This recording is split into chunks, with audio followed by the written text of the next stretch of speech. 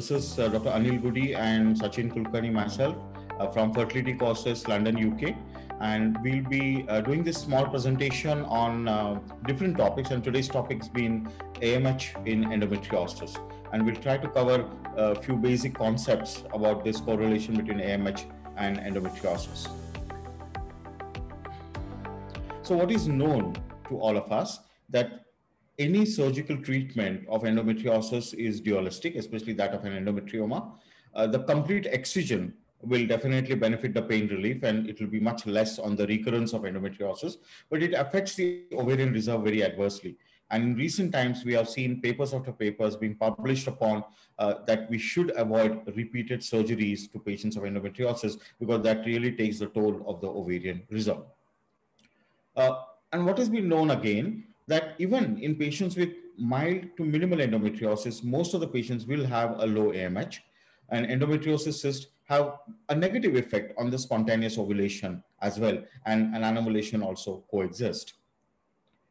So this is one of the papers which has been published. It's called an error paper, which is about uh, uh, suppose there is a patient of endometrioma and you're not planning any surgery to be done on endometrioma. Can you just uh, continue with the endometrioma and chase the future fertility. And this is one of the problems which commonly we come across in clinical practice also. A patient will say that, well, I have about four centimeter endometrioma, but I'm not having a great complaint of it. And uh, why you want to go ahead and do a surgery? I, I, I'm, I don't, not interested in surgery. She doesn't have pain, but she's having infertility. And uh, what has been detected that with endometrioma, as the years pass by, the decline in AMH is much higher. See, in this study, the decline has been to an extent of 26.4% compared to 7.4% in the control group. And the pathophysiology being the endometriosis will suppress, endometrium will suppress and compress uh, the ovarian cortex, and that will cause ischemic uh, problems there. And there will be also inflammation associated with endometrioma, which will lead to follicular damage. And there's also uh, hemosiderin, which is deposited of endometrium, and that could uh, that itself will cause toxic effects on the oocytes and oocyte generations further. So the AMH will come down much faster in the presence of endometrioma than the other uh, women who are not having endometrioma. The different theories of decrease in ovarian reserve is cyst itself, which causes a negative effect on the surrounding tissue and decreases the ovarian reserve. Uh, when you're doing a surgical excision, obviously you're going to have an unintentional removal of the follicles, and there could be damage due to blood flow interruption and inflammation if you're using a diathermy at the surgical intervention. And there has been also a, the rate of decline of AMH, and some small formula has been put forward to that, and that is 100 into preoperative AMH minus the postoperative AMH divided by the preoperative AMH. And they find that there is a significant decline in AMH after the surgery. And this decline is more obviously with bilateral endometriomas. And there is no really correlation with the cyst size, the amount of blood loss, surgical time, and even the expertise of the surgery. The surgeon doesn't make a difference. Uh, with cyst, removal of the cyst and using of diathermy on endometrioma, definitely there would be decrease in the AMH. And this is what is the highlight. When you compare removing a dermoid cyst, wherein you can give a clean cut uh, removal of the dermoid cyst without damaging the ovarian cortex at all, and the ovarian follicles will not be damaged while in endometrioma, it's a pseudocapsule. There is there is a compressed ovary which is existing, and that that is that becomes undergoes a lot of fibrosis as well. So look at this area number one, and this area one is the glandular epithelium, which is so thin, and again it's broken at places. The area number two is the fibrotic lining, which is the compressed tissue, and that's the somewhere the excision plane exists along that uh, between the that fibrotic lining and the ovarian parenchyma. So when you try to excise the whole cyst, obviously you're going to take out a lot of ovarian parenchyma and the cort cortical tissue as well, and thus the oh, follicular, uh, a lot of follicles will be lost at this level itself. So even with the expert surgeons, ovarian parenchymal removal is more than the cyst, 10 times more. And the hypothetical cleavage plane is not between the cyst and the fibrotic wall, but the hypothetical cleavage plane is in the ovary itself. So the next question comes to us is, what should we be doing? Should we really remove the cyst or should we just do fenestration? Uh, I think we have to keep in mind the age as one of the biggest parameter. Younger the patient, probably a surgical removal of endometrioma would be worth it. But as the patient grows older, probably uh, your chances, the, the surgeries would be less as less as possible, and you'll be taking the clients to more of IVF and ART methods. Uh, fenestration and vaporization has been my favorite because uh, you just open the endometrioma, remove all this, you can do an ovarioscopy, go in, find out the bulky areas if there are there, there and you can do a point coagulation of those areas. Laparoscopic cystectomy, again, that would definitely hamper the AMH and the ovarian follicular cohort will be lost. Then again, don't keep using a lot of bipolar force uh, cautery, better to suture as a hemostatic agent because that will at least save on the follicles and will not cause diathermy associated uh, blood flow damage. And certain recommendations for the surgical treatment of endometriosis have been published already. And uh, this publication really uh, talks about uh, what measures you should take or what precautions you should take when you're handling endometrioma. Uh, one, you should take a cold cut incision and always you should take an incision away from the hilum. I think most of us uh, try to evert the endometrioma if it is small enough and in the bargain, uh, the, the, the thinnest portion, the endometrioma breaks away and the blood will come out. A diluted vasopressin should be used so that your, uh, your cautery will be much less. And if cyst wall is difficult to separate, obtain a biopsy and ablate it. Spot ablation with irrigation is commonly advised internal suture to reconstruct the ovary. Because if you put an internal suture, the ovary, ovary will not be opened up and that, that whole raw area will not be open to the peritoneal cavity. You can reconstruct the ovary and external suture also may invite adhesions and internal suture will also achieve a bit of hemostasis and your amount of cautery there will go down. If at all you're using a bipolar cautery, you should use a current between 25 to 40 watts. And if it is monopolar, the current should be kept at 15 to 20 watts. And that's how it has been recommended. Uh, after you remove the cyst or endometrioma, what actually happens? There obviously there'll be rearrangement of follicles, and uh, the primordial follicles or the primary oocytes are not producing AMH. And as the follicles go to preantral and further, uh, the preantral ones are the ones, or the early antral are the ones who are pr producing a lot of AMH. So the primordial follicles, which are not been damaged during the course of surgery, will grow over next 90 to 180 days, and they will start producing AMH. So at the end of the surgery, there will be follicle size will come down, the follicular uh, pop population will come down, the AMH will also come down, but around four to six months, there will be some recovery of AMH will take place. But we must remember, if there is a lot of inflammation, because of the surgery, or if you use excess cautery, especially you have dissected too much towards the hilum and the ovarian blood flow has been compromised, obviously that will reduce the follicular population and there will be ischemia of the ovary. And in turn the follicular population and the AMH will keep on progressively going down. And there won't be much recovery here. So keep away from the hilum, even if a small part of endometrium remains with the hilum, that's pretty okay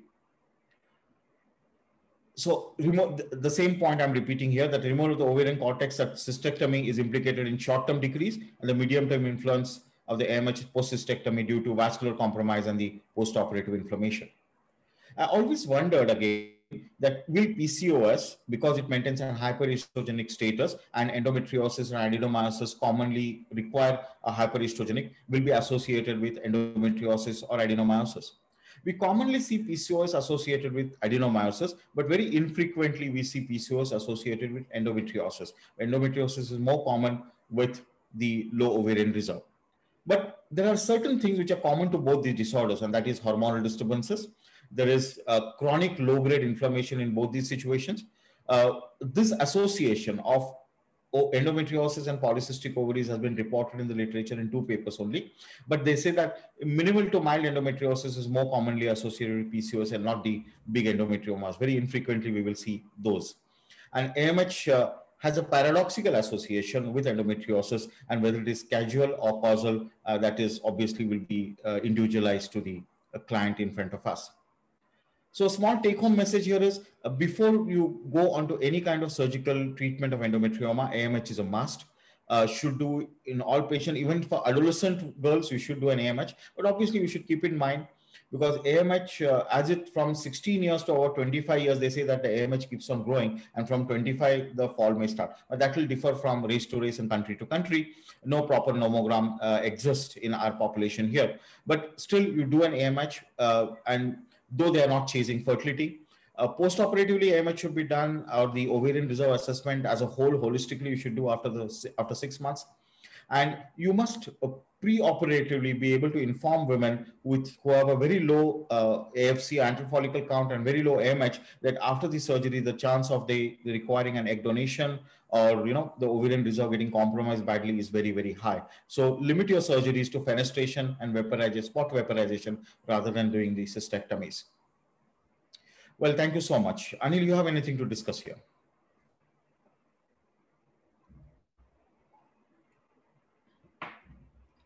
Yeah, I think, uh, uh, Sachin, that was a, a short one, uh, uh you know, uh, discussion.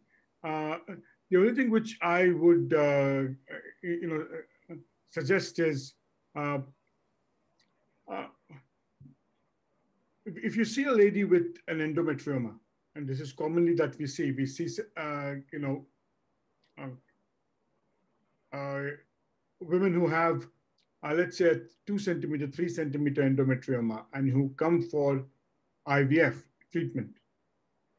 So, um, do you, and let's say this lady is not in pain, so do you decide to excise the, these, you know, moderate or small size endometrioma, or do you say, let's get on with IVF? And I, I, I tend to have a slightly different way of answering that too. What's your take on it? Yeah, generally we avoid surgeries for such uh, small endometriomas, and I would prefer even for a little bigger one, if the uh, antral follicles or follicle aspiration is possible, I would try and avoid surgery. Go ahead with an IVF and do a vitrification of embryos, and then probably uh, not even excise, just just go with Zoladex.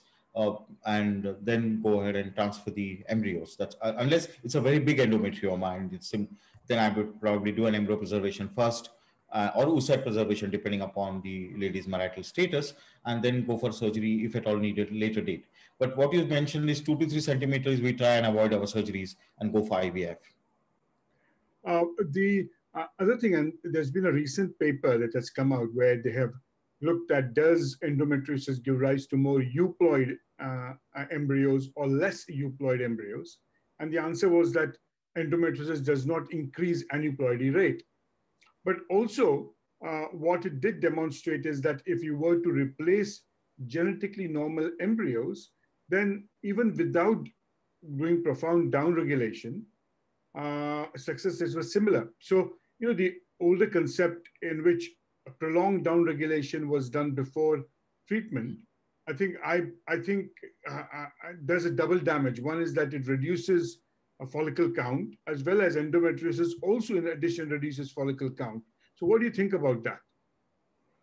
Yeah, actually, uh, I, have given away with this practice of doing a prolonged downregulation uh, uh, before doing an IVF in endometriosis. Rather, uh, I prefer doing uh, going for a new patient, new cycle with antagonist protocol, and then uh, embryo vitrification is done, and then um, they, I could downregulate that. And that's what I want to know from you uh, herein I do downregulate them uh, maybe with two or three months of uh, uh, Zoladex or Leupride depot, and then plan an embryo transfer cycle. And uh, I look for, especially if it is associated with adenomyosis, I look for uh, whether the uterus changes its characters over a period of a little longish downregulation. Even I've seen the endometriomas regress a bit with uh, down regulation and then and i just assume that as one of the parameter of the decreased inflammation in the pelvis and hope to get a better success. And then I do an frozen embryo transfer with a programmed uh, stimulation of the endometrium. What would be your take on that?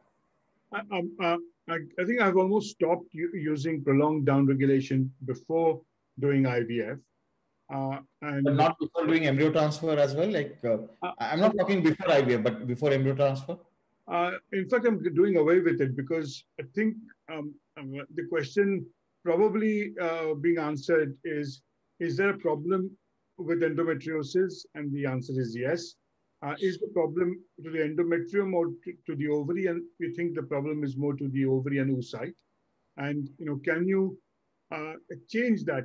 And the answer is probably no. You you can't. And uh, my worry of giving prolonged downregulation is that if the treatment works, that, that's absolutely brilliant. But if the treatment doesn't work, then uh, these women go into profound symptoms of downregulation. Uh, mm-hmm. And if they're not going to come in for another cycle for early, which also becomes difficult because if you have prolonged downregulation, your pituitary doesn't start functioning for months. Uh, and in fact, we, we have uh, lost to any chance of doing intervention for, for a few months if they don't have additional frozen embryos. Okay. Okay, I got it. I got it.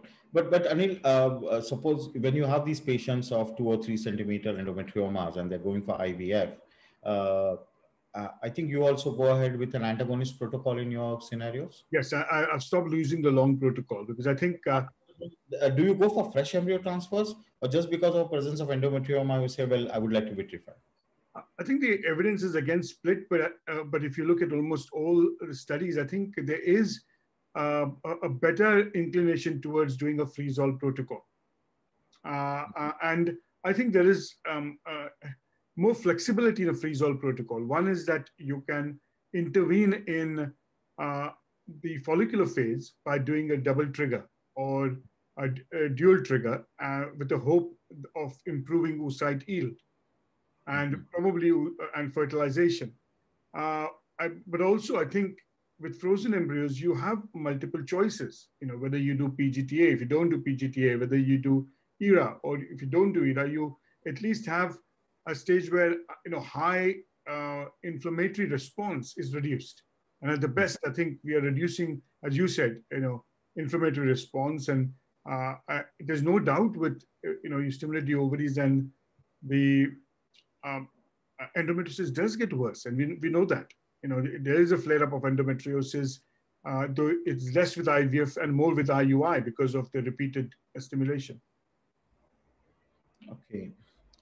And uh, no, I just want to know one more thing. Like uh, these women who undergo endometrioma surgery, uh, because endometrioma could be beyond five centimeters, uh, do you have any interval period before you take them for IVF?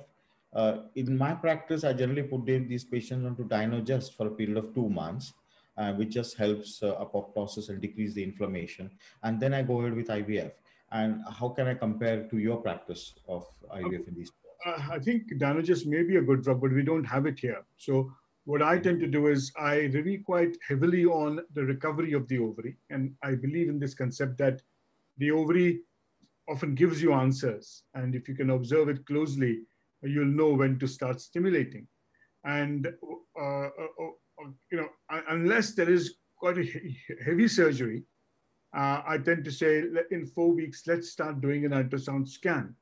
And uh, what I'm trying to study is when is the antral follicle count getting better, and uh, when can we intervene? The drawback of this is that inflammation still is continues, uh, and the ovary may take time to start its recovery process.